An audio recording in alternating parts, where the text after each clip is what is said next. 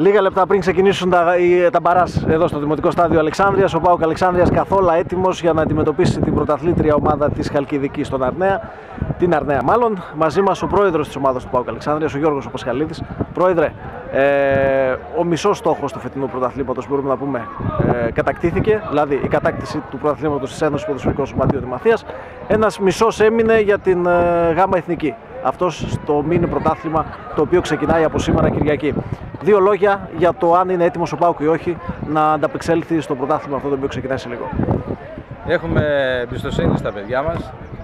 Έχουν κάνει μεγάλη προσπάθεια και όπως είπες ε, φίλε Τάσο, έχουν πάρει το μισό στόχο στα χέρια τους. Μας έμεινε άλλος μισός. Ε, ευελπιστούμε ότι σήμερα θα έχουμε ένα θετικό αποτέλεσμα για να συνεχίσουμε και να κατακτήσουμε αυτό που ονειρευτήκαμε. Το όνειρο φτάνει προς το τέλος.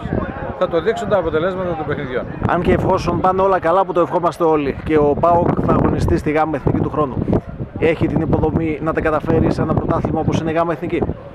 Έχουμε αρκετό υλικό, νέο υλικό. Προφανώς θα χρειαστούμε και λίγες προσθήκες, οι οποίες ε, ήδη έχουμε έρθει σε επαφή με αρκετούς ποδοσφαιριστές.